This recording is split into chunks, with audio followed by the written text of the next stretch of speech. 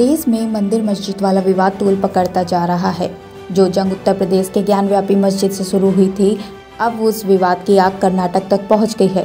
कर्नाटक के मंगलौर में एक पुरानी मस्जिद के नीचे कथित तौर पर हिंदू मंदिर जैसा वस्तु आपको बता दें कि वहाँ पर अब विश्व हिंदू परिषद एक अनुष्ठान करने जा रहा है। इस वजह से बुधवार रात आठ बजे इलाके में धारा 144 लागू कर दी गई है।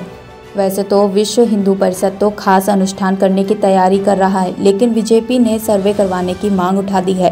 कहा गया है कि इस मस्जिद का एएसआई द्वारा सर्वे करवाना चाहिए, तभी सच्चाई सामने अभी के लिए लोकल कोर्ट ने उस मस्जिद के मरम्मत का काम रुकवा दिया है। जानकारी के मुताबिक मंगलौर के बाहरी इलाके गुरुप्राया यहाँ मलाली मार्केट में मस्जिद परिषद में मरम्मत का काम चल रहा मस्जिद के एक हिस्से को पहले गिरा दिया गया था। 21 अप्रैल को नीचे मलबा हटाया गया तो स्ट्रक्चर देखने को मिला।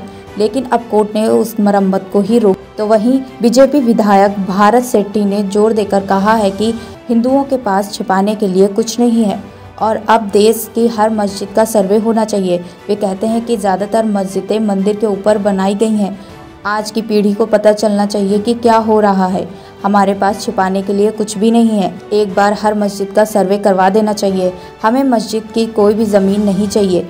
बस सच सामने आना चाहिए। लेकिन इन मांगों के बीच विपक्ष इसे नफरत वाली राजनीति बता रहा है। वहीं कांग्रेस नेता डी के शिव कुमार ने कहा है कि बीजेपी कर्नाटक का नाम मंगलुरु निवेश के लिए उपयुक्त जगह है। लेकिन ऐसे विवाद व्यापार पर गलत असर डालेंगे। ब्यूरो रिपोर्ट आई